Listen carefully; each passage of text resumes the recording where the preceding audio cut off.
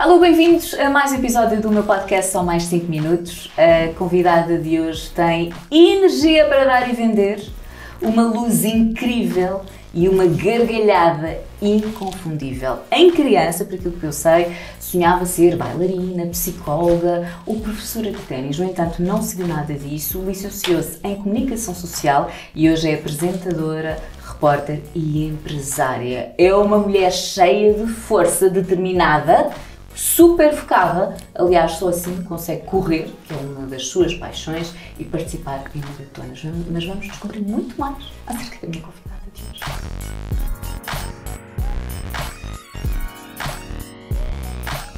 Isabel Silva. Já posso falar? Podes falar, estavas aqui a gesticular. Eu estava deliciada a ouvir-te, porque realmente eu, tu fizeste um resumo da pessoa que eu sou. Mas é, o que é mais interessante é ver a forma como tu olhas para mim. Eu, ah, eu parece que me distanciei de mim e estar a ouvir-te e realmente eu pensei, epá, que, que mulher cheia de vida e cheia de alegria. A introdução que, que eu fiz é como eu te vejo. Pois. Sabes? Não, e quem está lá em Cheia casa de luz, de energia. Epá, e é impossível uma pessoa não se sentir contaminada. Tipo, eu quero! Pronto, eu quero! Eu fico contente. Não, fico, fico mesmo muito contente de veres uh, essa luz que tu tanto falas, porque é essa luz que eu privilegio e, e, e coloco em primeiro lugar, é, é, a base da minha, da minha felicidade. É conseguir manter sempre esta luz, que dá trabalho, obviamente, mas é um trabalho que te dá um retorno maravilhoso, que é a felicidade. Porque eu acho que a felicidade se faz com essa conquista desse brilho uh, diariamente, a curto prazo a médio e a longo prazo, mas também a curto. Eu acho que todos os dias da nossa vida nós temos que tentar brilhar. E pode ser brilhar no nosso trabalho, pode ser brilhar com os nossos amigos, com a nossa família, com uma ação que nos faz sentir bem, com o que quer que seja, porque eu, a felicidade está na, nos pequeninos detalhes. Olha, era aí que eu ia, porque somos muito parecidas nisso. É. Para mim, basta uma coisinha muito simples, como ter um amanhecer com uma luz espetacular, e para mim já é um detalhe que me vai fazer seguir o resto do dia cheia de pica. Sim, e aliás, pronta. eu até posso, falar um bocadinho desta, desta fase que nós estamos a viver, eu uh, estive agora na altura da quarentena, por exemplo, eu estive 48 dias em casa, em que eu saía para passear o meu caju, que é o meu, o meu pug, o meu cãozinho, uh, foi a minha grande companhia nesta quarentena, uh, e, e de facto, aquilo que realmente, porque nós não eu não posso dizer que nós estamos felizes. Ninguém está feliz. Porque a tua liberdade está altamente condicionada claro. agora, não é? Sim. Uh, apesar, mas também é bom tu dares valor ao que tinhas e, e dares valor, valor ao bem mais precioso que é de facto a liberdade. Liberdade essa que exige o quê? Que sejas uma pessoa consciente e com responsabilidade. Mas de facto, numa altura em que tu tens a tua liberdade completamente condicionada, uh, qualquer momento do teu dia em que tu possas sentir um bocadinho essa liberdade, já, já, já te dá, a mim já me dava um gozo enorme. Então eu posso dizer-te que, uh, não estando feliz porque a minha liberdade estava condicionada, eu tentava manter-me serena e positiva, uhum. porque isso é o mais importante para tu conseguires manter a tua mente sã em corpo são. E como é que eu faço para manter a mente serena e a mente positiva? Fazer as coisas que eu sei que me fazem sentir bem fazer as coisas que me fazem sentir bem a mim, pode não te fazer sentir bem a ti, mas se me faz a mim, eu vou fazê-las. E aquilo que me sabia muito bem era acordar assim às 5 e meia, 6 da manhã, eu via o dia nascer e uh, ir dar a minha corrida, por exemplo. Eu ia sempre às 6 e meia, 6, 6 e meia da manhã, com, sozinha, durante 40 minutos, uh, obviamente sozinha, à hora, à hora a essa hora que eu te acabei de dizer, pá, e bastava aquilo por, aqueles 40 minutos para eu já me sentir bem e já encarar o meu dia de uma forma mais positiva. Olha, tu sempre tiveste assim esta energia que eu admiro desde, desde que lembres. A tua mãe diz como é que tu eras em miúda? Olha, a minha mãe, ela, eu lembro-me, eu há tempos perguntei-lhe, oh mãe, como é que eu era quando era mais nova? Há tempos, eh, já ia para o ano passado. E ela dizia-me sempre que eu era uma menina muito alegre, tu gostavas muito de rir. E, uh, e, qualquer pretexto servia para tu te rires. Portanto, eu sempre tive um riso fácil e sempre vi o lado bom das coisas. Mas eu acho que isso também tem a ver com os ensinamentos dos meus pais. Os meus pais sempre me, sempre me ajudaram a ver esse lado. E mesmo nos momentos mais, de maior dificuldade, tentar sempre ver isso como um desafio e como uma aprendizagem. Uh, e uma coisa que eu adoro, os meus pais sempre me deram a máxima liberdade para eu poder voar. E quando tu podes voar sem constrangimentos, tu és muito mais feliz. Ao mesmo tempo, uh, ensinaram-me outra ferramenta. Dou-te a ferramenta da liberdade, mas dou-te a ferramenta também da responsabilidade. Porque para tu usufruís em pleno da liberdade, isso acarreta também a responsabilidade de seres uma pessoa consciente. Mas como eles sempre fizeram isto de uma forma ligeira e leviana, estás a ver? Eu acho que isso determina muito a pessoa que eu sou hoje. Percebes? Eu, eu, mas eu sempre fui uma, uma menina alegre. Os meus pais são assim, a minha família do lado do meu pai é toda muito alegre, falamos todos muito alto, dizemos tudo o que sentimos, somos muito transparentes. E eu cresci um bocadinho uh, com, com esse ambiente. Portanto, é normal que eu agora também seja um bocadinho claro. assim. É claro que eu estudei, licenciei-me em Ciências da Comunicação, estudei comunicação, mas muito daquilo que eu faço hoje, uh, grande parte tem a ver muito com a minha personalidade e com os ensinamentos dos meus pais. Estás a entender? Aquilo que eu faço hoje é muito movido pela minha, pela minha paixão, pela minha educação, pelos meus valores. E eu acho que é isso que nos, nos determina. Não só na comunicação, mas em todas as sim, áreas. Sim, sim, tipo, sim. tu estudas, tentas ser o melhor, mas depois o que faz de ti o mais incrível ah, claro. profissional são os teus valores. São, a forma como são. tu levas. É porque isso é único, não é? Estudar, claro. toda a gente estuda e toda a gente lê os mesmos livros. Agora, hum. aquilo que te vai diferenciar dos outros todos é como tu aplicas. É, tua, é, tua é como tu aplicas, é isso que eu acho. Olha, estes teus sonhos de ser bailarina, professora de ténis. Professora de ténis. Isso já foi há muito tempo, porque imagina, eu sempre tive uma, uma veia de atleta. Eu sempre adorei praticar atividade física. Eu até costumo dizer que na barriga da minha mãe eu já devia correr. Eh, se bem que a corrida foi uma paixão que me surgiu em 2015. Porque mais do que correr, o que eu gosto é de praticar desporto. Porque a atividade física tem um impacto em mim muito positivo. Eu quando, pá, eu quando dou uma caminhada ao ar livre, uma caminhada, já nem estou a falar, eu tenho uma paixão muito grande pela alta performance, eu gosto, uh, desta veia de atleta de alto rendimento, mas sobretudo o que eu gosto é de ter o corpo ativo, porque isso só nos traz benefícios.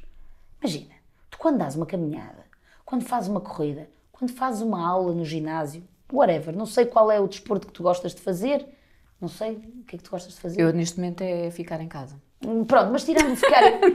não, mas gostas, não, não, não, não. Mas gostas olha, de dançar. Houve uma altura, e por isso é que eu percebo o teu foco na corrida, houve uma altura que eu também meti na cabeça, eu, uh, desde miúda, que eu tenho asma. Pronto, portanto, eu cresci a ouvir dizer tu não podes correr. Eu, depois de ter sido mãe em 2012, eu meti na cabeça que eu queria correr, já depois dos 30 anos. E comecei a correr. Portanto, durante toda a minha vida, mas querias correr porquê? Em miúda, porque queria uma sensação de liberdade que eu não conseguia encontrar.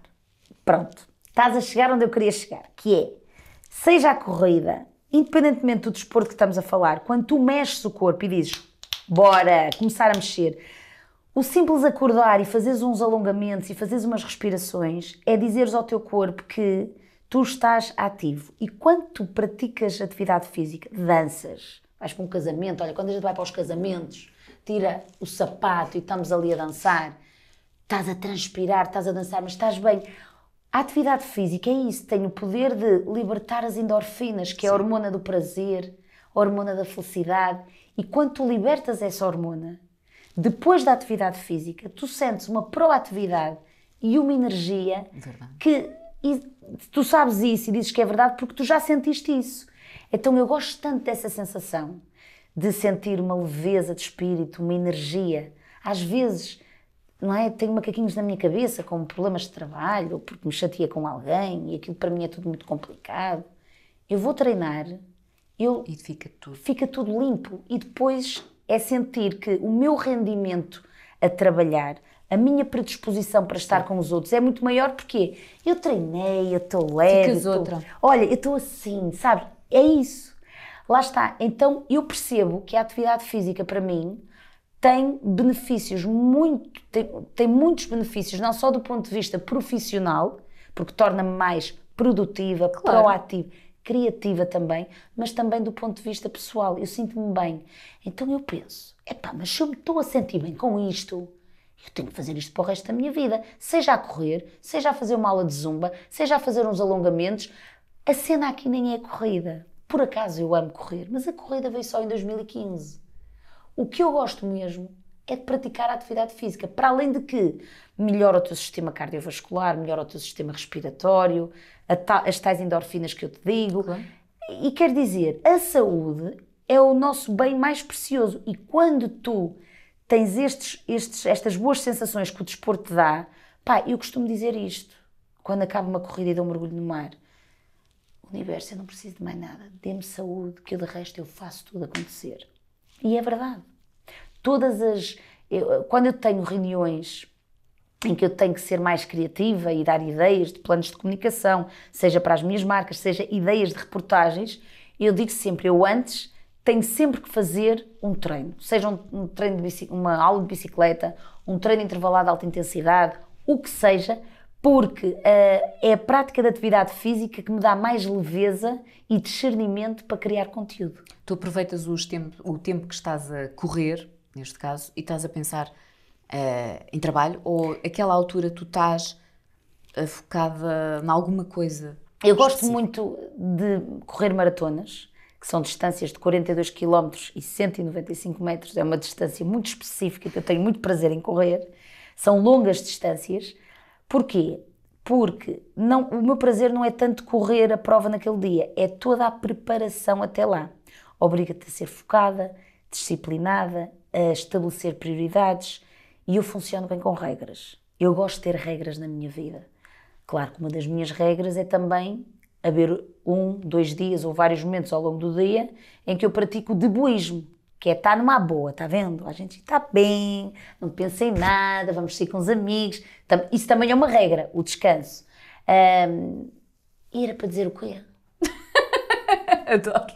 Do que é que quando tu estás a correr, se estás às vezes Ah. a pensar em trabalho ou se estás. Sim, e então, eu quando estou a, a- a praticar, eu quando, e quando me estou a preparar para as maratonas, são tantos quilómetros que eu coloco em cima das, pe- das pernas e são treinos longos, estamos a falar de treinos superiores a 90 minutos, muitas das vezes, que para quem nos está a ouvir até vai pensar, ai credo, ela é maluca. Não, não é verdade. Porque a partir do momento que nós nos predispomos àquele desafio, tu começas a perceber que tu só não fazes aquilo que tu não queres É e até percebes que estás capaz daquilo e até estás capaz de muito mais. Então, como quando eu faço treinos superiores a 60, 90 minutos, eu entrava ali num transe, eh, lembro perfeitamente aos fins de semana, na preparação das maratonas, que tinha treinos às vezes duas horas, duas horas e meia. Eu, ao fim de 90 minutos de treino, eu entrava num transe, não te sei explicar, que eu eh, tornava-me altamente criativa. E grande parte das boas ideias que eu tive e que implementei eu- Nasceram. nasceram enquanto eu estava a correr. E tenho a certeza, seguramente, que muitas das pessoas que nos estão a ouvir agora, se correm ao ar livre e se gostam de praticar desporto, também já sentiram isto. Pá, tu libertas tudo. É assim, os primeiros 20 minutos de treino, às vezes nós ainda vamos com os problemas na cabeça, eles ainda estão aqui. Mas depois a coisa vai. Olha, eh, tu já disseste que essa energia sempre esteve contigo. Tu, aos 18 anos, eh, decidiste vir estudar para Lisboa por aquilo que eu, por aquilo que eu li, Sim. O conselho de uma amiga, verdade? Porque tu até estavas a pensar estudar no Porto. Sim, ou seja, eh, eu na altura, eh, eu, eu não sabia muito bem a faculdade que eu queria, mas eu pensei, bom, o que é que eu tenho que fazer? Tirar as melhores, ter a melhor média possível que eu assim escolho para onde é que eu quero ir. Pronto, cheguei ao 12º ano, eu tinha uma boa média, eu nunca fui, dizes-me assim, epá, tu eras mega inteligente. Não, eu não era a mulher mega inteligente. Eu era muito, tinha uma sensibilidade muito grande para o desporto, sempre fui brilhante no desporto, ahm, nas disciplinas de, de, de educação visual, as artes, e era muito boa a escrever, a parte de filosofia psicologia, eu gostava muito. Mas eu era uma pessoa que eu tinha que estudar. Ok? Eu, eu precisava de estudar para ser boa naquilo que eu fazia. Há aquelas pessoas que basta estar na aula e está feito. E, não, eu não era esse. Eu tinha que ir para casa, interiorizar e tudo mais. Mas eu adorava, eu sempre gostei de estudar. Eu também. Sempre gostei. Eu acho que isso é uma característica da- das pessoas da comunicação. São curiosas. Verdade. E é? A gente olha que dei por mim muitas vezes a pensar, cara, também ainda quero tirar um mestrado e não sei o quê. Pronto. Porque eu gosto mesmo. Sim, sim. Adoro. Eu sei que há aquelas pessoas que tiram o curso porque têm de tirar, é uma obrigação, os pais fazem essa questão. Eu amava. Aliás, eu posso dizer que no, no 12 ano o meu maior medo era e se eu não entro em nenhuma? Hum, hum. Sabes? Minha mãe era, tu estás doida com as tuas notas, como é que tu não entras? Então eu decidi, esquece, eu candidatei-me a tudo e mais alguma coisa, e mesmo nas privadas e tudo, fiz quase todos os testes de admissão. Minha mãe disse, tu estás doida? Tu estás doida? Mas porque era o meu maior medo, sabes? Claro. Não entrar. Não, sim, sim. Porque era uma Eu- coisa que eu queria mesmo muito. Eu, eu sabia, eu não sabia bem qual era a, a faculdade, que eu, eu, eu queria uma boa faculdade. Eu sabia que as melhores faculdades estavam em Lisboa e no Porto, sabia que a Faculdade de Ciências Sociais e Humanas era a, a que pedia uma, maior, uma média mais alta.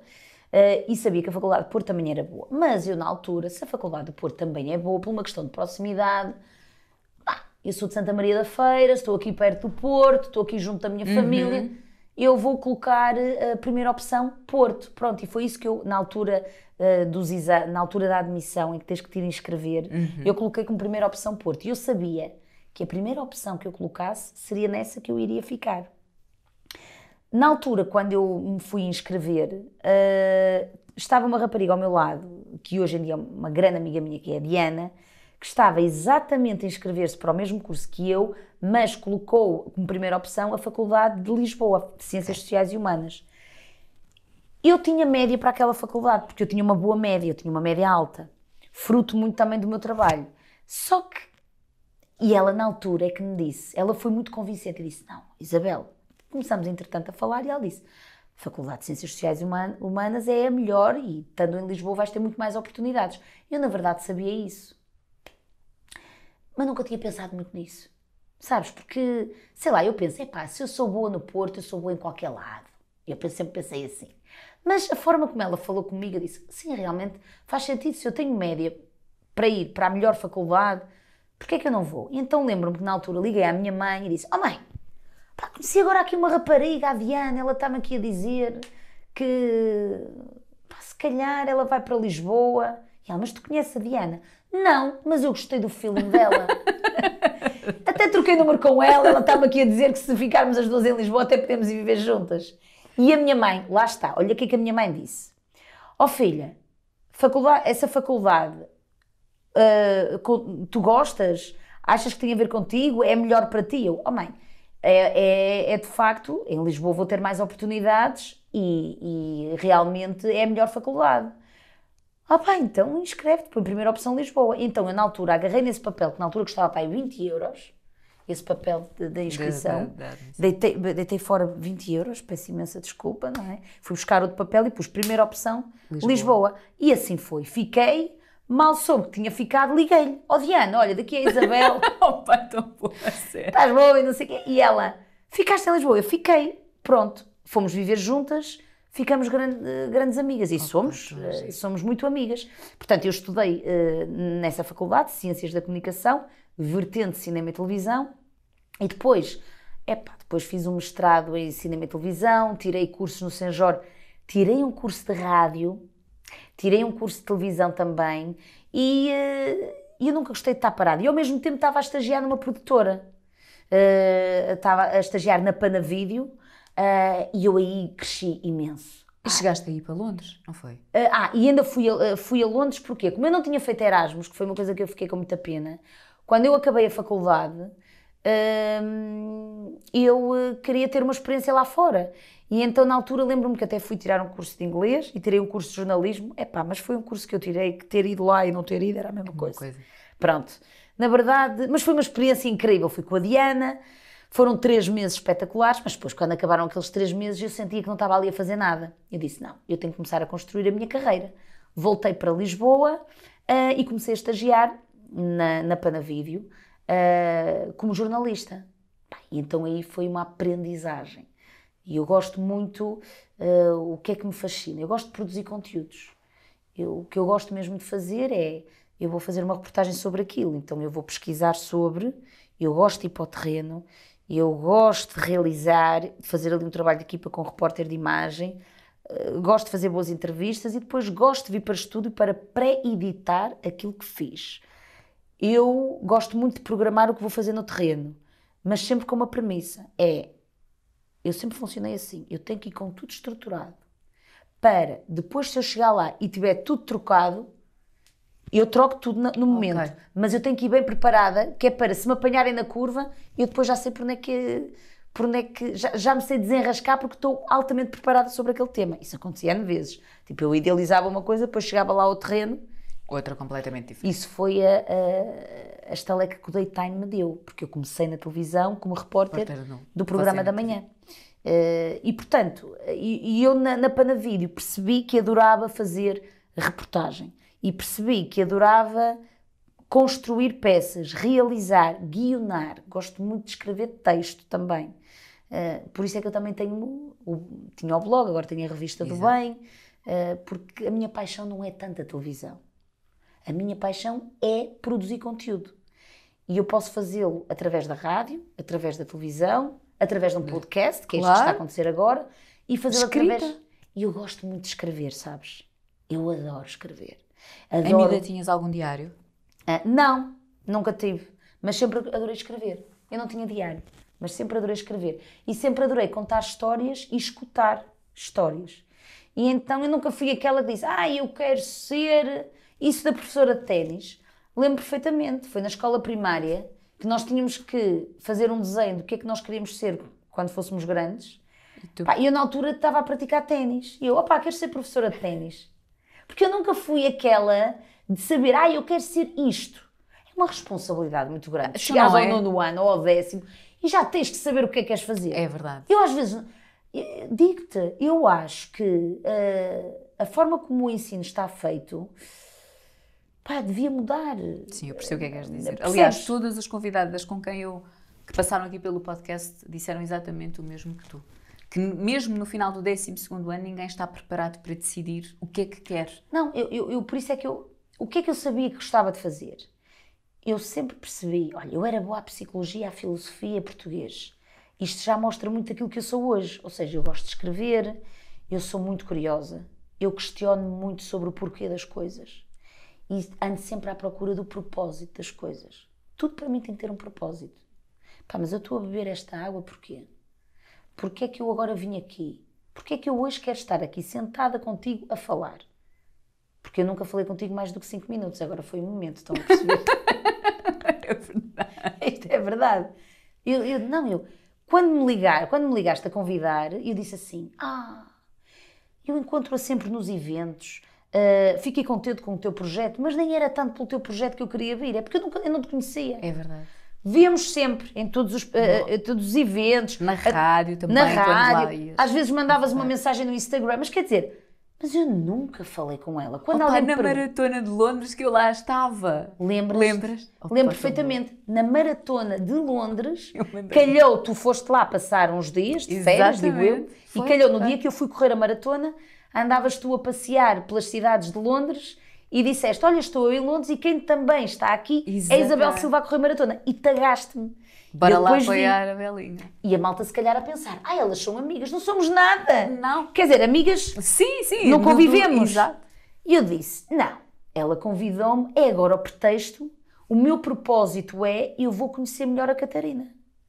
Pronto. Ou seja, isto para te dizer tudo o que eu faço na minha vida tem, Tem que ter um propósito. E eu, eu no 12 ano, eu sempre eh, me questionei sobre as coisas e sempre me escutei muito. Eu tenho esta energia toda, mas eu todos os dias eu tenho que ter os momentos em que eu gosto de estar completamente sozinha, sem me sentir só. Eu gosto muito de estar sozinha.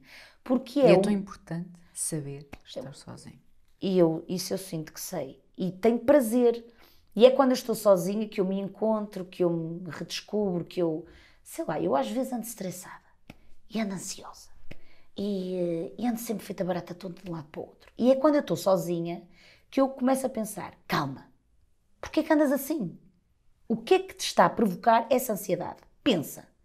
E depois às vezes eu digo para mim própria: ah pá, sei lá, pá, não sei, estou cansada. Não, pensa não é? Porque às vezes nós damos uma desculpa a nós próprios. Estou cansada, regressei do trabalho, agora estou a fazer, estou a arrumar a casa, estou a tomar conta dos filhos, não tenho tempo para pensar. É o tempo. É, é o tempo, é o tempo. E então eu perco muito tempo a pensar em mim porque nunca desisto de mim. Nos momentos bons e menos bons, eu penso sempre: porquê é que eu estou a sentir isto? E tem que haver uma razão. Porquê é que eu gosto de psicologia? Porquê é que eu gosto de português? Porquê é que eu gosto de filosofia? Ok, tu és uma pessoa que gostas de pessoas, gostas da parte humana da coisa, por isso é que gostas tanto de psicologia. Gostas de escrever, ok, é das línguas, é da comunicação. Filosofia, pois tu realmente estás sempre a perguntar o porquê das coisas, és curiosa. Podias ser uma psicóloga? Podia. Pá, mas eu não sirvo para estar sentada e estar sempre a ouvir as pessoas, porque eu tenho o power do desporto. A estrica, gosto de andar de um lado para o outro, gosto da energia. De... E depois, também sou criativa, porque adoro artes e sou boa nos trabalhos manuais. Eu pensava nestas coisas. Pá, então o que é que se calhar era o melhor curso para mim? Opa, se calhar comunicação, porque ainda por cima eu adoro contar histórias e adoro ouvir. Ai, vou para a comunicação. Foi assim que eu decidi. Estás a ver? Uhum.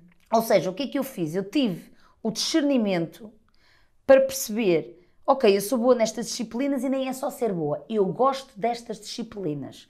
Por exemplo, eu amava matemática, mas eu não era grande aluna na matemática. Ficava triste quando tinha testes e eu não conseguia resolver aquilo à primeira. Que eu tinha amigos meus que faziam aquilo, olha, pumba, e eu fui que inteligente, eu não, eu não sei, às vezes ia ao quadro, ficava nervosa, então empancava e não tinha a capacidade que algumas amigas minhas têm para raciocínio rápido, não tinha. Uh, também eu acho que tive bons professores, mas também tive anos que não tive tão bons professores. E os professores definem muito quem nós somos no exatamente. futuro. Exatamente. E daquilo que tu gostas, ou vais gostar. Porque às vezes tu não gostas de uma disciplina. Porque associas. Ao professor, ou porque ele não. Ou porque ele próprio, se calhar, não, não fez a coisa para tu. Exatamente. Mas eu, por exemplo, eu sempre gostei de matemática, pá, mas uh, eu, para ser mediana à matemática, e eu tinha que estudar muito, mas eu andava em explicações. Estás a perceber, do género, não, mas eu, eu gosto disto. Pá, mãe, mete-me explicações. Já em pequenita, eu era assim, nunca desisto de mim. Não sou a mais incrível, mas tenho vontade de, de fazer bem. Não é? E eu acho que isto define muito de quem eu sou hoje, que é, às vezes eu não faço as coisas perfeitas, às vezes eu também falho, eu também falho e erro, mas eu, na altura, não é? Quando tu falhas, fico triste, fico revoltada, reflito, mas depois, ok, que lição é que eu tirei disto? E o que é que eu posso fazer agora no futuro para não voltar a repetir e para melhorar? Ou então, fiz aquilo, odiei, tanta coisa que eu já fiz na minha vida, claro. que até nem gostei. E já tivemos a falar de algumas coisas ainda há bocado. E eu percebi, pronto, olha, o caminho não é por aqui, é por ali.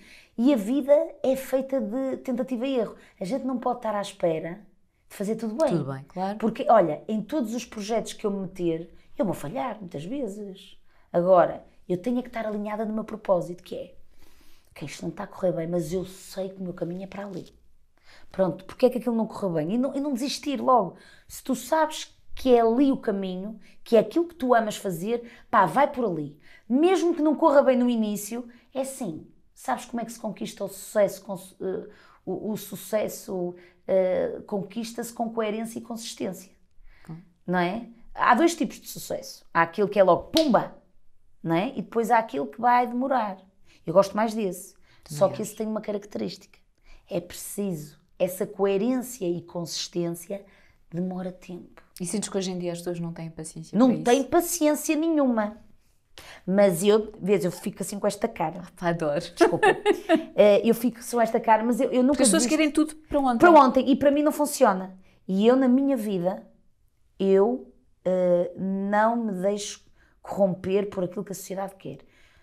E digo-te, pá, nunca digo nunca. Uh, também uh, depende da fase de vida em que nós estamos, mas eu estou sempre alinhada com o meu propósito. E quando eu sinto que as coisas estão a querer andar rápido demais e aquilo não faz sentido para mim, eu paro. E tu dizes, ah, mas vais perder isto, vais perder aquilo. Não, não vou perder, eu estou a investir em mim e vou ganhar a voar. Tá, olha, eu vou-te dar um exemplo. Quando eu lancei o meu blog, já foi, agora tenho a revista do bem, e o meu blog está dentro da revista. Mas na altura, eu quando lancei o meu blog, já há um ano e meio que toda a gente me dizia tens que lançar agora um blog, porque agora é a altura de lançar o blog. Mas e se a altura não de é, lançar o blog não é não é minha? É alto. Mas às vezes é, é, lixado, porque tu às vezes, não é? Tu até te sentes um bocado pressionado e até ponderas, e até ficas na dúvida. Pá, pois se calhar agora era, mas depois há qualquer coisa aqui dentro que está a dizer: não, Belinha, mas tu sentes que ainda não tens os alicerces para. Tens que ter a melhor equipa à tua beira, tens que perceber que eu estou a criar este blog porque eu gosto de escrever e gosto de produzir conteúdos. Ainda não encontrei o logotipo certo, ainda não... havia ali ainda uma série de coisas que eu ainda queria limar. Eu disse, pá, não. E não criei na altura. E criei passado um ou dois anos. E toda a gente dizia, oh, agora já toda a gente lançou o blog. Eu, está bem, mas este é diferente. Sabem porquê? Porque este é o meu blog. E portanto vai ter a minha energia. Pode haver muitos, mas depois este é o meu e há quem se identifique.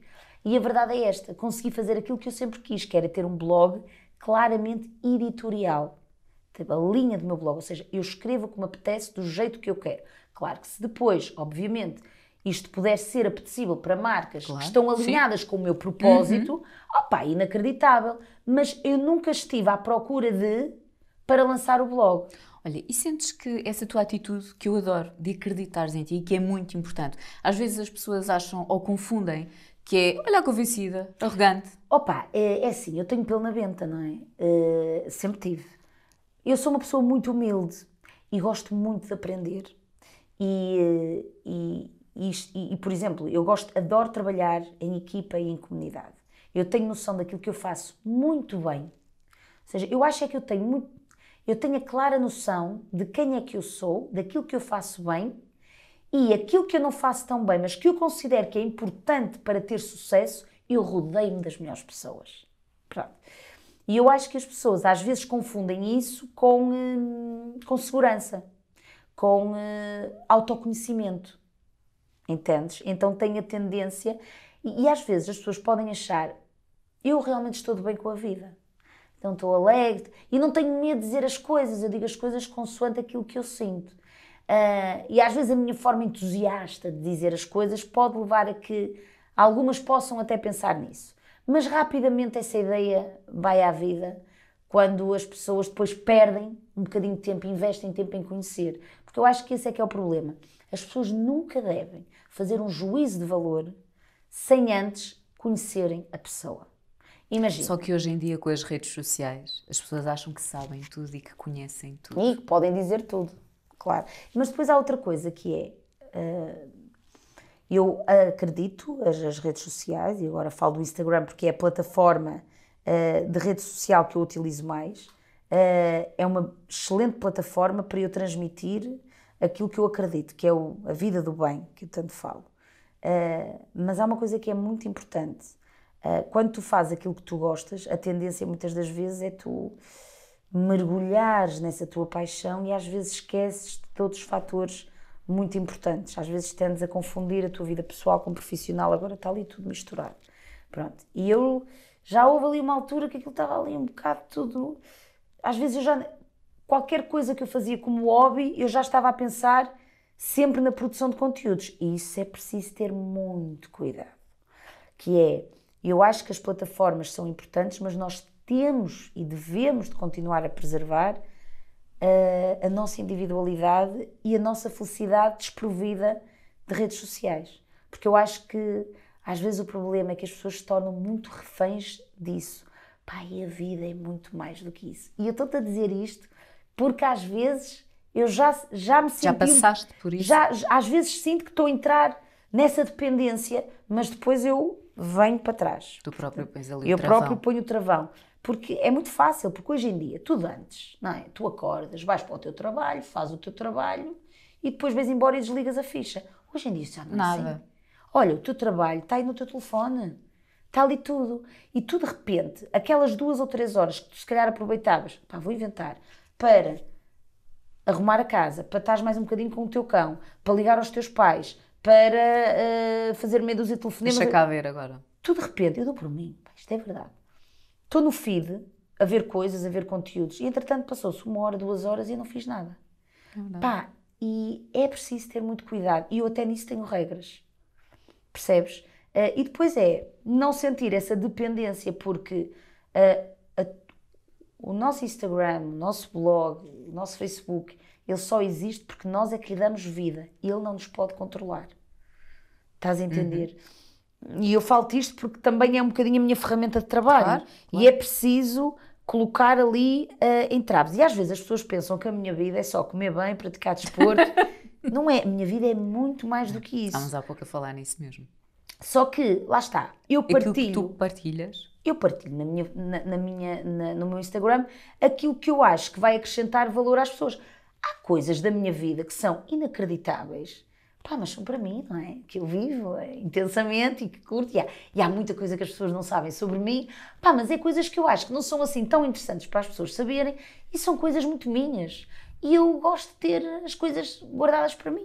Uh, eu tenho amigos meus que são meus amigos há 3 ou 4 anos e, e que me conhecem e dizem: é pá, tu és assim, eu não fazia a mínima ideia. Eu, claro Olha, essa Percebes? era uma das perguntas que eu ia fazer. Imagina, no teu grupo de uh, amigos, tens assim algum que se calhar no início até nem ia muito à, à bola, mas de ah, repente. Sim, olha, vais mostrar. Ora bem! O Ruben! Não sei. É o Rubinho. Não sei. O Ruben é. Uh, o Ruben. Exatamente. Já sabia. Sim. Confere, aqui estou eu, mais uma vez, a preparar-te uma surpresa. É possivelmente o meu 13 terceiro vídeo, mas eu acredito, acredito mesmo uh, que tudo uh, tem um motivo, uh, nem que seja dizer-te mais uma vez o quão importante és na minha vida e o quanto eu gosto de ti. Portanto, aqui vai mais este vídeo. Pediram-me para falar sobre a nossa amizade e para contar alguns episódios dessa mesma amizade. Temos vários, mas eu vou lançar dois temas e depois tu desenvolves. O primeiro tem a ver com o facto de eu, antes de, de te conhecer e quando trabalhei contigo, não ter gostado de ti, não ter ficado com a melhor impressão, mas isso também só durou um mês. Ao final do mês estava completamente rendido e e dura até os dias de hoje. É só uma das minhas melhores amigas. E o segundo episódio tem a ver com o facto de quando eu e a Rafa jantamos em tua casa, tu acabares sempre os jantares a dormir no sofá. Adormeces sempre. E a minha questão é: seremos assim tão pouco interessantes? É isso? um beijinho grande para ti, um beijinho para a Catarina e liga-me assim que saís daí, pode ser? Beijo! Rua. É, olha, é uma amizade que nasceu no Dança com as Estrelas, né? quando, quando eu participei como concorrente, e ele era o produtor de conteúdos. Então fazia as reportagens connosco e fazia o acompanhamento da, dos nossos ensaios. E, uh, e, ele não gostava de mim ao início. Uh, lá está, achava-me um bocado convencida. Porquê? Como ele também é jornalista e produtor de conteúdos, quando nós íamos para o terreno, eu dava bitites, dava ideia, também é a minha área. Não me metia no trabalho dele, como é óbvio, mas era criativa e metia-me com ele e tentava ali fazer um trabalho de equipa. Eu até entendo, quem não me conhece, de repente pode levar ali um bocadinho a peito, tipo, olha-me aqui esta. A meter-se. Meter mas não trabalho. era por mal. Claro. Pronto, e se calhar foi um bocadinho por isso que ele devia-me achar um bocadinho tipo nariz empinado e que tem a mania que sabe tudo. Mas depois, lá está, ele diz ali que percebeu que não era nada disso. Uh, e hoje em dia é, o, é, um, é um dos meus melhores amigos. Temos uma amizade muito bonita. Uh, ele tem muito sentido de humor, eu também. Pá, rimos imenso uh, e é um ótimo confidente. Entende muito bem o meu propósito. Temos um estilo de vida. Como é que eu tenho de explicar? Ele, lá está. Ele não come como eu, ele não corre maratonas como eu, ele não tem as preocupações às vezes que eu tenho do ponto de vista ambiental e sustentável e tudo mais, mas somos iguais e temos um match perfeito. E depois há amigos meus, há pessoas conhecidas minhas que têm as três áreas de interesse bem vincadas, tal e qual como eu, e não, não têm nada existe. a ver comigo, sou um secador. O que seria? Portanto, isto para te dizer o quê? O que me une às pessoas são os valores. Não ou é... seja, não é o facto de comer exatamente a mesma coisa ou ter a mesma filosofia de vida, mas. Bem, eu ainda agora, vou dizer, ainda agora fui almoçar com um amigo meu, ao Zé de Cozido que é uma tasca no areeiro. Uh, que eu fui comer uma garopa cozida e ele pediu um bife e, e, depois pedimos uma sobremesa e ele bebeu uma cerveja e eu, pá, ou seja, isto para dizer o quê? Eu sou uma pessoa, pá, eu gosto de lá me ouvir e gosto de vida e vou aos tascos e como e, e eu adapto-me a tudo. Agora, uh, E lá está, e são pessoas que podem não ter os mesmos gostos que eu, eu se calhar até podia ir a outro tipo de restaurante, uh, mas isso não significa que o meu ADN é só estar dentro dessa comunidade de Ou pessoas. seja, quando tu combinas, imagina, os jantares uh, com os teus amigos, um, eles não têm que ter aquela preocupação. Ai, uh, que belinho, o que é que vai comer? É, eles perguntam-me sempre, ai, a Belinha, não, porque eles acham sempre que é tudo muito complicado, mas só que depois eles ficam rendidos, porque quando nós vamos a um restaurante, eu arranjo sempre alternativas e eu, para mim está sempre tudo bem, que nunca me movam. Ou que, eu não gosto que as pessoas, há um grupo que de repente uh, muda Nós a íamos vida. a algum sítio, mas por causa de ti. é Não, pá. porque às vezes o que é que acontece? Eu muitas das vezes, eu levo a minha marmita para o restaurante. Pá, se eu vejo em mente e que nada, eu amo comer. E portanto, o que seria de mim comer só para matar a fome? Nisso para mim não dá. Eu tenho que comer para me nutrir, tenho que me alimentar bem e a comida tem que me saber bem. O momento da comida, pá, é um dos melhores momentos do meu dia, lá está. O tal celebrar os pequenos Os momentos. detalhes. Eu adoro comer. Então o que seria? Eu ir a um restaurante qualquer comer uma coisa que eu não gosto. Então eu só tento perceber. Esse restaurante tem a opção X ou Y? Tem, não tem, ok, não tenho, malta. Eu vou, levo uma coisita ou outra e quando o senhor chega à minha beira, eu digo-lhe, oh amigo, olha, eu trouxe aqui a minha marmita porque assim, eu tenho algumas intolerâncias e eu prefiro comer assim, não se importa. E depois peço uns acompanhamentos e peço... E a coisa, e está-se bem. Nunca levaste uma resposta um bocadinho mais. Não, porque eu acho que o segredo está na forma como tu Como tu- falas. exato. E eu acho que o mais importante, antes das pessoas atirarem uma pedra, porque por acaso não me atiram, mas antes de atirar uma pedra, o mais importante é que as pessoas estejam felizes e bem. Estás a ver? Eu vou jantar contigo. Imagina que eu quero levar a minha marmita. Só tens que me perguntar: estás bem? Estou ótima. Então está tudo bem. As pessoas têm que estar felizes, estás a perceber?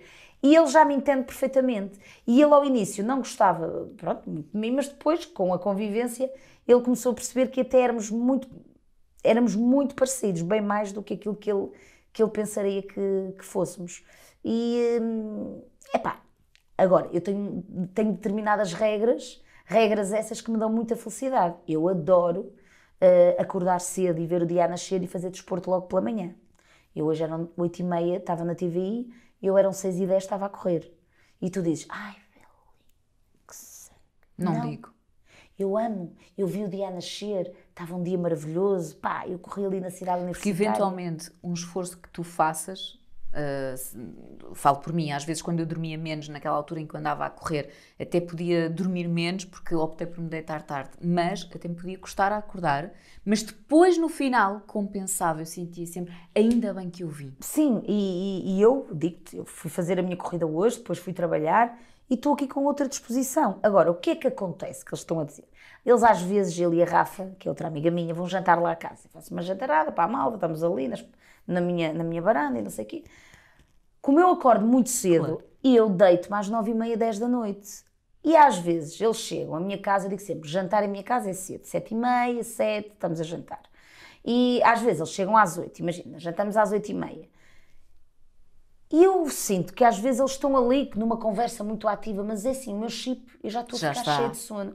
E no outro dia eu quero acordar cedo outra vez. Não é que eu não gosto da companhia deles, eu adoro profundamente, mas eu depois sei que no dia a seguir quero acordar cedo e porque estamos às vezes durante a semana e eu tenho algumas regras durante a semana. Outra coisa é o fim de semana. E às vezes o que acontece, eles estão a falar, eles saíram do trabalho mais tarde, deitam-se mais tarde do que eu, então eles estão ali cheios de pica e cheios de power a conversar. Pá, e eu já estou cheia de sono, e para não os incomodar, porque eles são da casa, eu às vezes o que faço é, eh, eu digo vou à cozinha e aproveito, pá, vou lavar os dentes, visto o pijama e vou dormir e eles já sabem, tipo, vão embora, eh, fecham, a, fecham a porta e vão à vida deles. Pá, e é isto que às vezes acontece. Então eles às vezes gozam comigo, que é, eles estão a conversar e depois vão ao quarto e veem que eu já estou a dormir. Mas atenção, eu faço isto com a Rafa e com o Ruben, Claro, porque são, da casa. teus, exatamente. Uh, mas isto acontece. Mas eu tenho muito isto, que é, eu sou muito alinhada no meu propósito. O Ruben já sabe como é que eu sou. Eu, para treinar bem, eu tenho que dormir bem. O sono, para mim, é muito importante. Isso é a regra número É um, descansar. E, pá, e se eu tenho uma coisa definida para o dia a seguir, marcamos um jantar, eles atrasaram-se, pá, a conversa está ótima, mas eu sou muito focada nisso. Correr é, praticar atividade física é a base da minha felicidade. Portanto, eu não vou abdicar disso por uma conversa Por muito interessante. por muito que- interessante que a não ser, depende, há casos e casos. Sim, sim, sim, sim. Mas neste Estamos a contexto- generalizar. Generalizar. Pá, eu nessas coisas não quero saber. Eu vou dormir. Olha, só disse da alimentação. Tu sempre foste assim mesmo em miúda. Ainda uma vez do norte, onde há aquele prazer de comer. Quando é que. Ou tu, tu sempre foste Sempre assim? fui. Sempre fui Mesmo em assim. miúda? Mesmo em miúda, porque mesmo a minha mãe, a minha mãe sempre fez comida limpinha, como eu costumo dizer. Ah, e a minha mãe ah, nunca foi aquela pessoa de fazer a carne de porco alentejana, o cozido, as papas de sarrabulho, aqueles pratos mais pesados. A minha mãe nunca foi assim. A minha mãe sempre foi aquela pessoa que fazia uma omelete, um peixinho cozido, um peixinho grelhado, fazia uma massinha, ah, sempre me habituou a comer muitos legumes. E por isso é que hoje em dia eu às vezes lancho brócolos, lancho beterraba, lancho nabo. Eu desde pequenina que fui habituada a comer legumes, então para mim aquilo é uma delícia.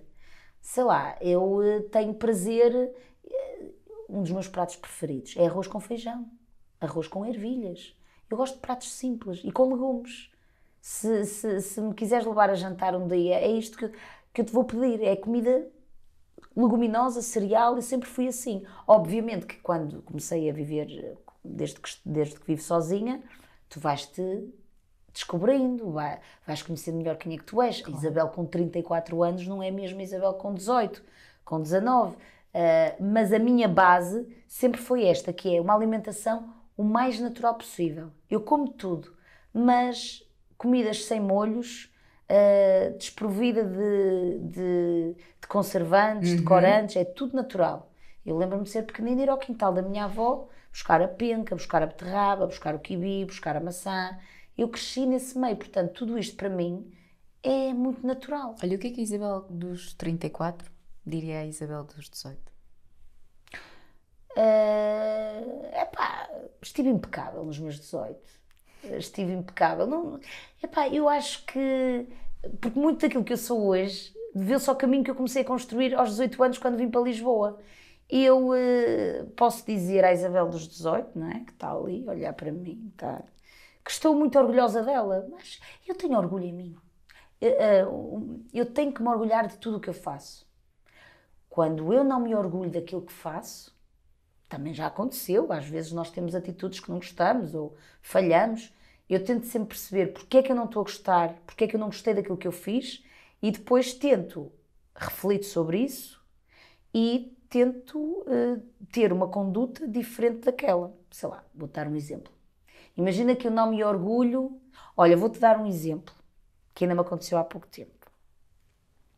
Não me orgulhei nada daquilo que fiz. Ah, apesar de eu ter razão no que toca ao conteúdo em si, eu não tive bem pela forma como falei, que foi com a minha equipa, por causa de um conteúdo ah, que eu não gostei, que aquilo não estava bem feito porque eu tinha pedido de uma forma e foi feito de outra, que também não estava mal, foi ali um bocado de falha de comunicação, mas eu tinha o coração na boca naquele dia, andava mais cansada, andava a dormir poucas horas, andava mais rabugenta, eh, andava ali com a acumulação de algum stress e não gostei de uma coisa que vi e então com o coração na boca falei da pior forma possível para uma amiga minha que trabalha comigo também. Fui estúpida, fui parvalhona. Apesar de ter alguma razão n- numas coisas. Eh, e pronto, de lá disse aquilo. E depois fiquei a refletir. Refleti, sem falar com ela, refleti, refleti, refleti. Porque ela depois nunca mais me disse nada. E eu percebi, eh, e eu estava triste, estava super triste. Andei o fim de semana todo mal. E assim, mas porquê que eu. Ah, Estava numa agonia. E eu percebi que a minha agonia era por uma coisa só. Não foi por lhe ter falado mal. Foi por eu me sentir mal por lhe ter falado mal. Não é? Porque às vezes nós não agimos bem com os outros, pedimos desculpas e depois estamos bem. Eu não, eu estava triste comigo. Tipo, como é que eu fui capaz de falar assim para uma pessoa cuida tão bem de mim e do projeto em si? Então, refleti, não me orgulhei, liguei-lhe ao confinamento, não, é? não podíamos estar juntas. Tivemos horas ao telefone, eu disse-lhe tudo o que sentia, ela disse-me também o que sentia, mas lá está, eu tenho isto, que é, eu reconheço o erro e vou falar. Não deixo para depois, não fica, não fica aqui, não, não engulo nada, eu digo tudo o que sinto. Eu falei com ela, ouvi, escutei tudo que ela disse, concordei com muita coisa, ela concordou com outras que eu disse, mas no final de contas, às vezes, eh, não interessa o que tu dizes, é a forma como tu dizes. E eu não tive bem, estás a ver? E não me orgulhei disso. Pronto, pedi desculpa. Hoje em dia, é assim, ninguém está livre. Mas já penso três vezes, posso voltar a fazer a mesma asneira. Mas se calhar não a faço mais, porque até fazer essa asneira, eu vou, pensar, eu vou pensar três vezes antes. Estás a ver? Pronto. Olha, eh, ainda temos de falar. Televisão, a tua, o teu novo projeto, os livros, Ah, sim, pois, mas não vai dar para empresário. Ai, vamos ter que fazer aqui um Vai. apanhado de, de tudo. não Olha. É que ele está à minha espera, coitado. da televisão, tu estás feliz? Eu estou feliz em televisão porque eu amo produzir conteúdos e a televisão dá-me isso. E portanto, nesse sentido, estou muito feliz. Neste momento, eu estou a fazer. Estamos numa altura delicada, não é? Eh, Lá está, a minha liberdade está condicionada, portanto, se me dizes que eu estou muito feliz, posso estar muito mais, mas estou plena e tranquila, que é o mais Ótimo, importante. Privilegiando aquilo que eu acredito que me dá felicidade. Desporto, alimentação, pronto, que é o que falo aqui. Eu sei como ser feliz, pronto. Eu sei como ser feliz, malta, mesmo quando eu não estou. É que mesmo quando eu não estou, lá está, errei. Pronto, então, mas agora já sei o que é que eu tenho que fazer para voltar a Ser feliz. estar feliz. Ter costas voltadas para o mundo, costas para a frente para o mundo, tipo ligação. Bom, mas isto para dizer o quê? Em televisão, estou bem, estou, mas obviamente que há ainda muita coisa que eu quero fazer. Uh, e tenho vontade de fazer. Se me dissesse assim, olha, o teu percurso em televisão acaba agora, que desconsolo, não pode ser. Porque sinto que ainda tenho muita coisa para fazer em televisão. Porque há muita coisa que eu ainda tenho para aprender, há muita coisa que eu quero fazer e eu amo sair da zona de conforto. Quando me pedem para fazer uma coisa que eu fico tipo. Ai, será que eu não consigo fazer aquilo? Sentes na televisão está tudo muito fechado no sentido de às vezes não há aquela abertura, ah, sei lá, às ideias que cada pessoa tem. Se calhar, se calhar não, tem muito a ver ou passa por algum receio. Hoje em dia tudo passa pelas audiências, não é? Portanto é quase mais fácil ir por um formato que à partida já está ganho. Faço-me entender? Sim, e, e- e quando tu pensas num conteúdo, não podes. Ou seja, quando penso num conteúdo, eu não posso pensar só naquilo que eu gostava de ver, mas naquilo que o Outro. público, neste caso, por exemplo, da TVI, quer ver. Portanto, eu quando penso em formatos eh, e conteúdos para a TVI, eu tenho que pensar naquilo que o espectador da TVI vai querer ver. Mas sentes que está tudo muito fechado. Eu não estou só a falar da, da TVI, atenção, estou a falar da televisão. Da televisão, é assim, no meu caso, eu falo da minha experiência, eu noto que, neste caso, a TVI, onde eu trabalho, eles têm em conta as ideias que eu dou e, por exemplo, sempre que eu tenho uma participação muito ativa em todos os projetos que eu faço. Ah, eu envolvo-me, não faço só, se eu estou a apresentar um programa, eu apresento, também produzo conteúdos, também faço reportagem. Já percebemos que tu gostas de estar quase em todas as áreas. Gosto, go- sem me meter no trabalho sim, dos sim, outros. sim, sim, sim. Sabe, sim. também cada Mas é macaco também o teu lado curioso de perceber como é que as coisas funcionam. Sim, e, e- e de produzir e de produção de conteúdos. Agora, o que eu noto muitas das vezes é que as ideias, às vezes, que nós temos, que até são boas, podem não surgir no momento certo, à hora certa. Neste caso, eu posso dar mil e uma ideias, mas depois, às vezes, tem a ver o quê? Tem a ver com as audiências, tem a ver com o orçamento, tem a ver com a situação atual. Ah, mas é assim, eu nunca desisto. Eu sou sempre aquela pessoa que eu meto sempre as ideias a ler. Tu és daquelas pessoas que se tiver que bater à porta 20 vezes bate, sem qualquer problema. Ah, não, também não sou. Por acaso, é curioso, eu não sou essa. Eu sou, eu tenho uma coisa que é. Ah, eu tenho uma ideia. Eu acho que a ideia vai acrescentar valor. Eu procuro a pessoa certa e digo: Olha, eu tenho esta ideia. E a pessoa sabe que está ali. Pá, já disse o que achava. Já, fiz, já dei o meu poder de argumentação. Eu não, não sou- votas lá. Não volto. Está dito, Não está volto. dito. Opá, está dito. quer. Não tem a ver com orgulho, nem tem a Sim, ver... sim, sim, sim. É do género. Eu não vou Parece que estás a pedinchar, é isso? Exato, ou seja, eu dou uma ideia que acho que acrescenta valor. Pronto, já demonstrei o meu interesse, já demonstrei a minha vontade, one shot, eu disse tudo. É isto que eu quero, que eu gostava de fazer, eu acho que isto funciona, estou disposta a fazer isto, isto, isto e aquilo, estou cheia de pica. Ei, mas digo uma vez. Não vou estar a dizer. Ainda posso, se calhar, dizer mais uma vez. Mas depois. Mais aquela do pick me. não, não, eu não gosto de insistir. Porque imagina, eu acho que o nosso valor conquista-se com o nosso trabalho. E eu, quem trabalha, conquista. E eu acho que eh, eu dou provas todos os dias de que sou uma boa profissional, porque eu sou uma boa profissional. Eu acredito. E E agora as pessoas estão a ouvir e dizer: olha, a outra convencida. Não é, é de género. Eu trabalho para isso. Mas, mas eu, acho que é muito o nosso erro, é pensar quem, go, quem é confiante e no sentido de, ok, eu sou capaz, eu faço isto bem. Muitas vezes é confundido com convencida. Não, não é Arrogante. isso. Por isso é que eu digo, eu sou é. Ah, gosto de fazer bem as coisas e mesmo que as coisas às vezes não corram bem, porque já aconteceu N vezes, eu fazer coisas que não correram tão bem, há uma coisa que tem que estar sempre na minha cabeça. Eu tenho que estar de consciência tranquila que Que eu dei o teu melhor. o meu melhor. Quem dá o que tem, a mais não é obrigado. E se eu sentir que dei o meu melhor, eu estou super tranquila. O que eu fico às vezes danada é que também é um defeito que eu tenho, coloco muita carga em cima de mim. Eh, Quando eu vejo que alguma coisa não correu bem, porque não me lembrei de dizer aquilo, porque estava, eh, não sei, alguma coisa não correu bem por mim, aí fico danada. Mas eh, quando sinto que dei o meu melhor, pá, eu, eu fico danada, mas isso raramente acontece, porque eu preparo-me sempre. Pior é quando tu não te preparas. Agora, quando tu te preparas e tudo o que está ao teu alcance tu tentas salvaguardar, epá, não vais fazer uma omelete quando não podes fazer uma grande omelete, só tens um ovo. Olha, diz-me outro esse sentido prático. Assim que tu saibas Meu? ou que os teus Ah, amigos digam. Eh, eu, pronto, coloco muita carroça à frente dos bois, não é? Isso é uma coisa que eu faço. Mas sou, eh, às vezes sou um bocado ansiosa. Sou uma pessoa um bocado ansiosa. O problema ainda não aconteceu, eu já estou ali. Já estás a. Eh, e às sofrer vezes desgasto-me desnecessário. pensar. Eu às vezes desgasto-me com coisas que não valia a pena desgastar. Às vezes eh, aciono um complicómetro com coisas básicas e às vezes com coisas muito estruturais que essas sim é que é para uma pessoa ficar nervosa. Eu não fico. Nunca mais me esqueço que eu fui a primeira, quando estreou Dança com as Estrelas, eu fui a primeira a atuar, a abrir a pista. Estava tudo a dizer. Ai, Belinha, ainda bem que és tu. Olha, ainda bem, pá, nós não, ainda bem, ainda bem que não somos Ninguém nós. queria ser. E eu estava no Shitex, Porque eras. porque era, pá, porque eu queria e eu, bora, eu, estás a ver, não estava nervosa com isso. Mas depois, às vezes, posso ficar nervosa com coisinhas pequeninas. Tipo, eu odeio andar de avião. Fico super nervosa. Porém, se o avião me proporciona voar e sonhar, eu não vou deixar de fazer. Mas eu subo que nem uma tolinha, fico nervosa. Ou seja, um dia antes começas a pensar. Epá, agora já estou melhor, mas não gosto.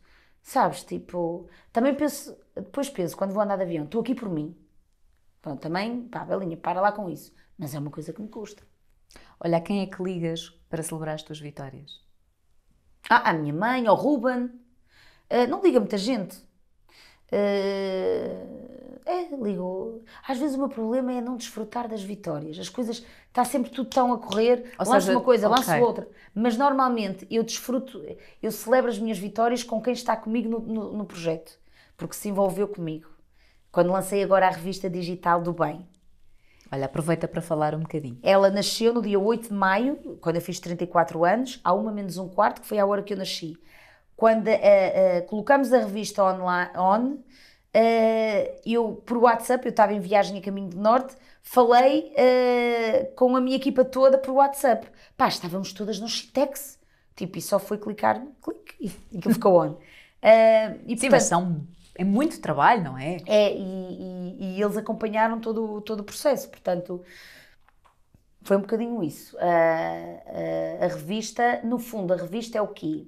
Este, eu, eu sempre tive o desejo de produzir conteúdos com mais regularidade, mas eu para isso tinha que me dedicar a tempo inteiro. E o meu blog é uma espécie de diário onde eu partilho aquilo que eu quero, porque eu adoro escrever e, portanto, eu partilhava sempre aquilo que eu queria.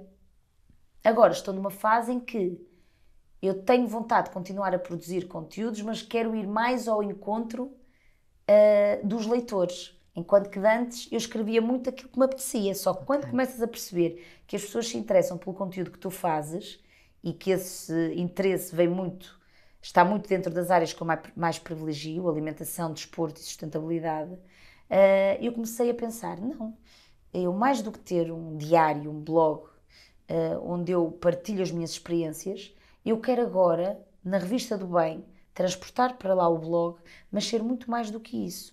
Eu quero deixar de ser a protagonista e eu quero que a protagonista da revista, os protagonistas sejam os temas que são o meu ADN.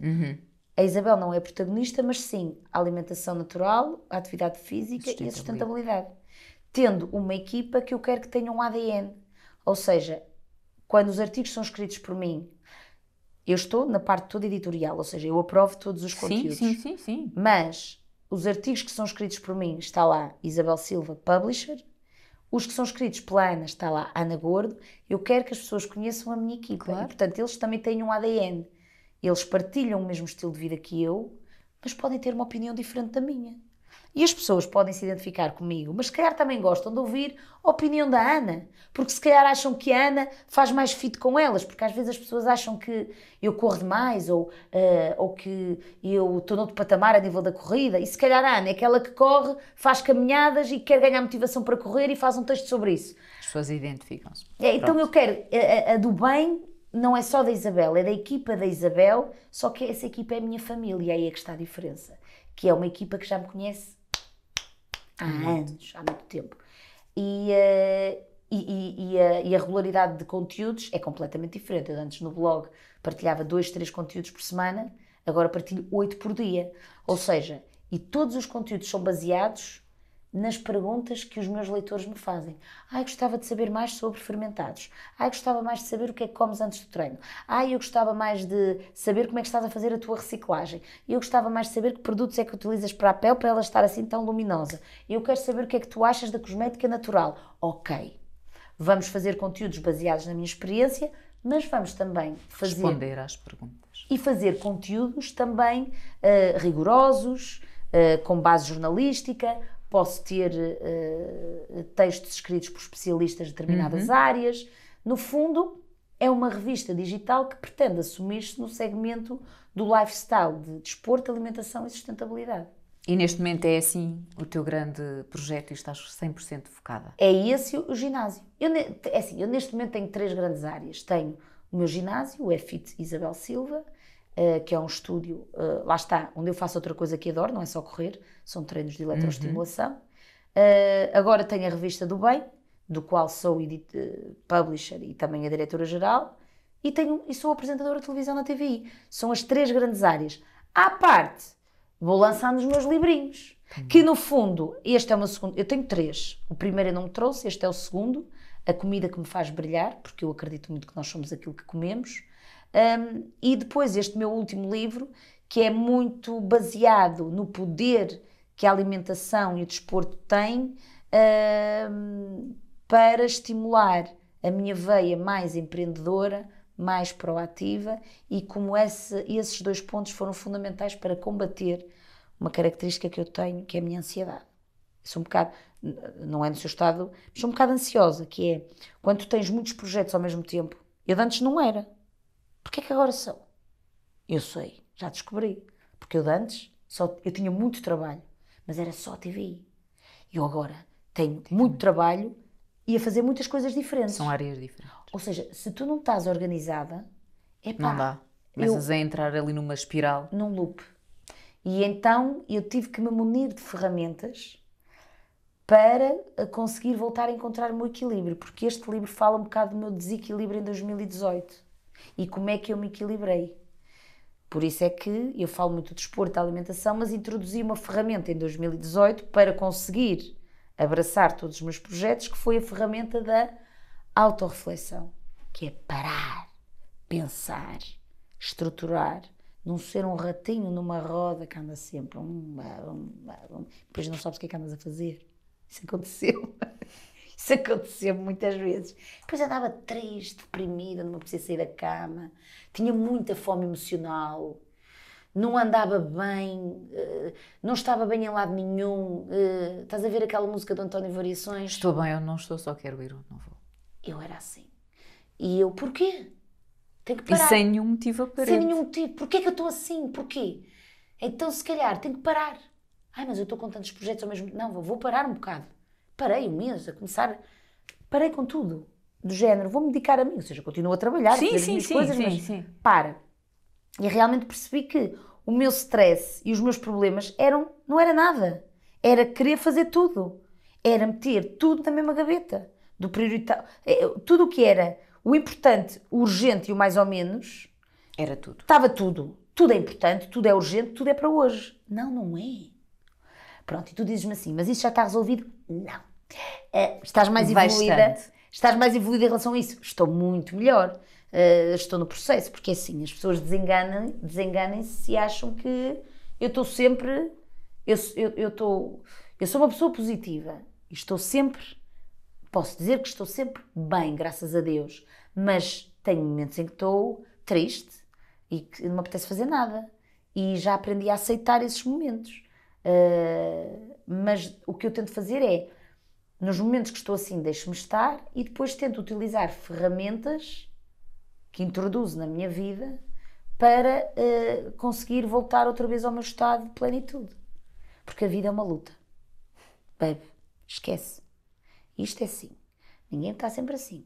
A vida está sempre a estimular. E desenganem-se se acham que agora vai acalmar e. Não, nós temos que estar sempre a lutar. Agora nós temos é que lutar com serenidade. Por isso é que é importante saber, queremos lutar pelo quê? Porque se a gente estiver alinhada no propósito, a gente luta. Porque a gente sabe que ao menos é aquilo. Agora, quando estás a lutar com muitas coisas ao mesmo tempo e não sabes bem o que queres, isso é que gera ansiedade. É, é assim, isto é a minha verdade das coisas. Não é verdade absoluta. Não sei, é isto, não é? Tens toda a razão. Eu também acho que sim. Ficamos só mais 5 minutos. Ora, aí temos que ir. Pois, pois temos. Temos que que ir. ir. E agora a pergunta-chave. Ai, ai, em que aquela- situações é que tu dizes? Só Ou mais pedes 5 só minutos. minutos? Olha, eu agora diria, pá, só mais 5 minutos. Não ainda é? temos tanta coisa para falar. Pois é, mas Fica não- para uma próxima, não dá? Mas podes fazer outro depois específico de um determinado tema. Mas já foi bom, não é? Foi ótimo. Estás a brincar? Olha, só mais 5 minutos. Eu digo muitas vezes só mais 5 minutos. Quando as pessoas dizem só mais 5 minutos várias vezes ao dia, isso é bom sinal, porque significa que aquilo que estão a fazer está alinhado com o seu propósito e, portanto, estão contentes com o que estão a fazer. Portanto, digam muitas vezes só mais 5 minutos. Ainda hoje, quando estava a correr, eu disse: opa, só mais 5 minutos, mas não, tenho que ir para a TVI. Depois estava na TVI a falar com uma amiga minha maquilhadora e estava-lhe a dizer: opá, tenho que ir embora, pá, mas queria ficar. Lá está, só mais 5 minutos, porque já não havia há muito tempo e queria estar mais tempo com ela. O só mais 5 minutos pode ser aplicado a um desporto, a uma pessoa. Desde que tu estejas bem, não é? Desde que eu Pedes esteja bem. Mais 5 minutos. Só mais 5 minutos. Olha, Isabel, Agora muito mais obrigada. Gostei muito Também desta eu. nossa primeira conversa, do Pronto, nosso não é? primeiro momento. Foi bom. Valeu a pena Valeu. este meu propósito. Aliás, e deixa-me dizer-te também que este foi o melhor momento do meu dia. Eu sei que ainda tenho mais coisas para fazer, mas eu hoje tinha alinhado na minha cabeça, porque tu deves achar que aquela outra anda sempre a mil, é verdade. Mas eu sou muito atenta e, estou, e sou muito atenta às pessoas e, e eu sabia que hoje o meu dia era para ti, porque eu não te conhecia, eh, e quando eu digo conhecia, era só tinha estado contigo dois ou três minutos, e portanto, hoje foi a oportunidade que eu me dei a mim própria de te conhecer melhor. Portanto, foi muito bom. E a ti também, que estás aí. não estás a ver o nosso Ricardo, Ricardo. também está aqui a filmar tudo, em todas as câmaras. Sempre atento. Sempre atento. Bem, vamos embora. Vamos. Belinha. Gostei muito, muito, muito, muitas felicidades. Obrigada. E E até à mais próxima. cinco minutos. Só mais 5 minutos. está feito. Beijinho, até ao próximo episódio.